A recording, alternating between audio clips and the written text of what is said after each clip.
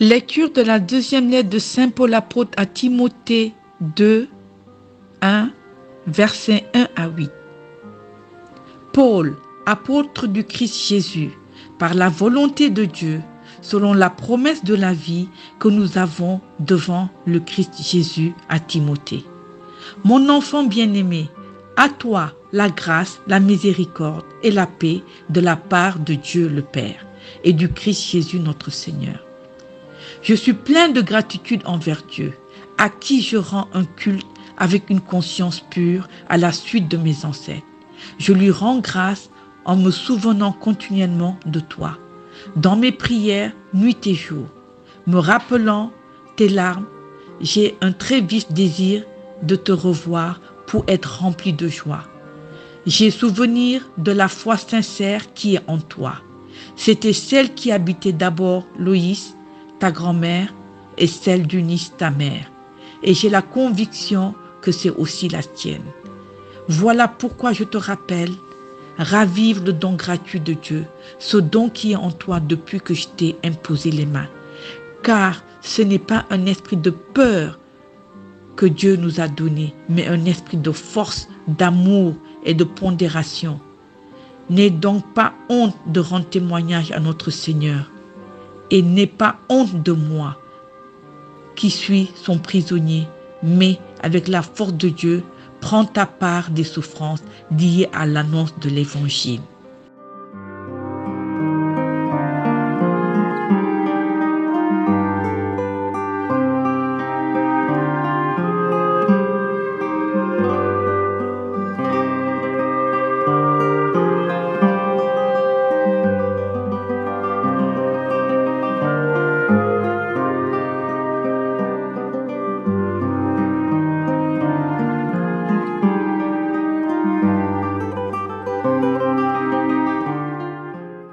Psaume 50, 51, 3 à 4, 5 à 6, 6, 7, 10 à 11.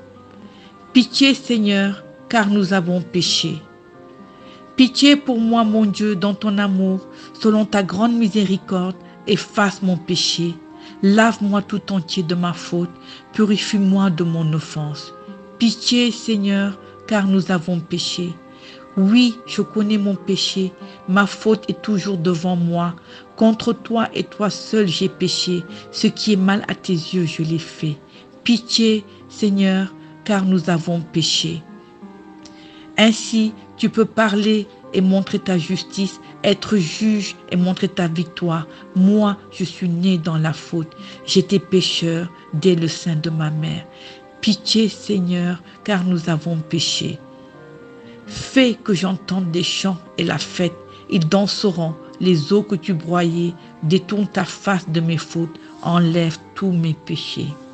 Pitié, Seigneur, car nous avons péché.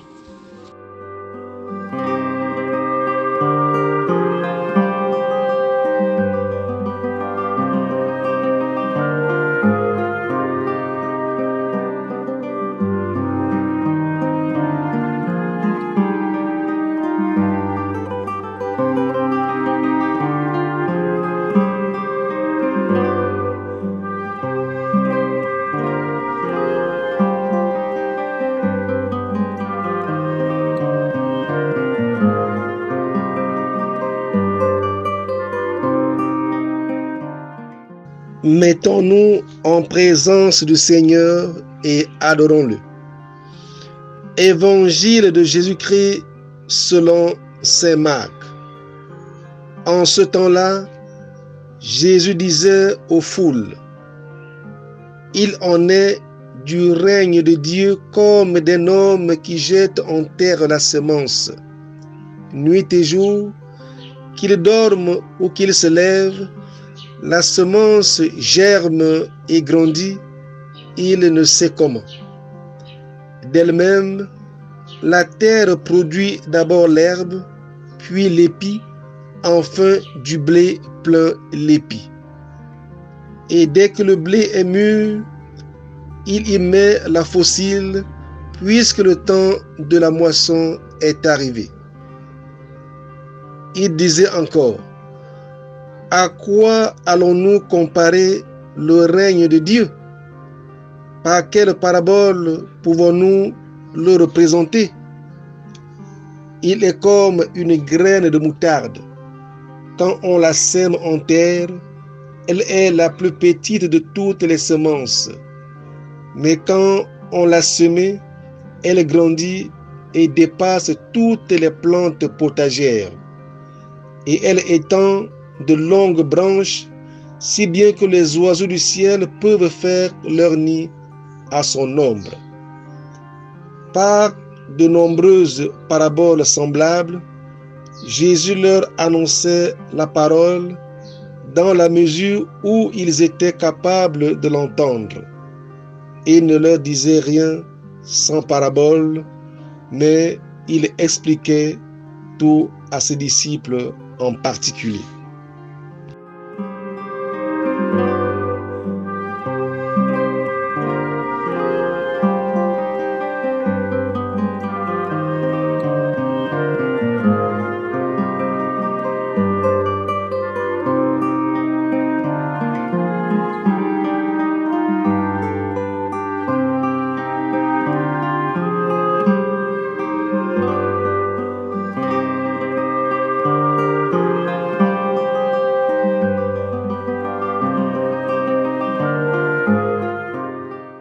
Que le Seigneur te bénisse et te garde. Que le Seigneur fasse briller sur toi son visage, qu'il te prenne en grâce. Que le Seigneur tourne vers toi son visage, qu'il t'apporte la paix. Au nom du Père et du Fils et du Saint-Esprit. Amen. Mes frères et sœurs, par pure grâce, nous sommes le royaume de Dieu.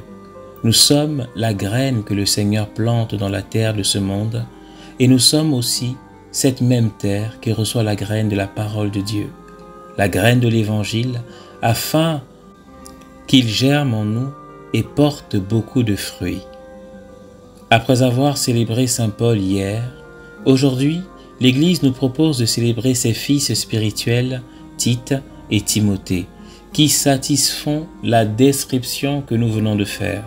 Par leurs parents, ils ont reçu l'Évangile et la foi en Jésus-Christ ils ont manifesté leur amour pour Jésus en recevant le baptême et en acceptant la mission de disciples du Christ, d'apôtres, de prêtres, puis d'évêques, car ils ont tous deux été ordonnés par Saint Paul. C'est le rôle des parents de transmettre la vraie foi à leurs enfants, afin que ces derniers la transmettent aussi à leur tour en tout lieu où Dieu leur donne la grâce de témoigner de lui. J'ai souvenir de la foi sincère qui est en toi. C'était celle qui habitait d'abord Loïs, ta grand-mère, et celle de Nice, ta mère, et j'ai la conviction que c'est aussi la tienne. Voilà pourquoi je te le rappelle, ravive le don gratuit de Dieu, ce don qui est en toi depuis que je t'ai imposé les mains.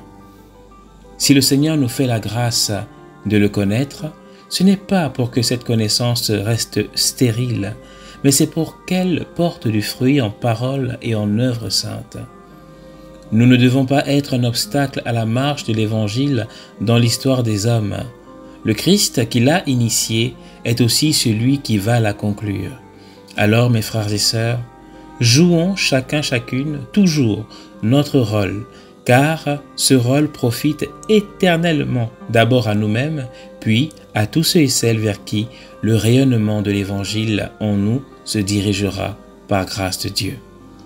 C'est cela la vie chrétienne, l'héritage reçu qu'il faut transmettre afin de ne pas être comme le troisième serviteur de la parabole des talents, celui-là qui cache, qui enfouit le talent de son maître et qui, par ce fait même, demeure stérile, au lieu de fructifier, partager ce talent et devenir fécond. Mes frères et sœurs, la vie chrétienne est un choix, le choix de l'obéissance à Dieu, le choix de la vie, le choix de la gloire divine.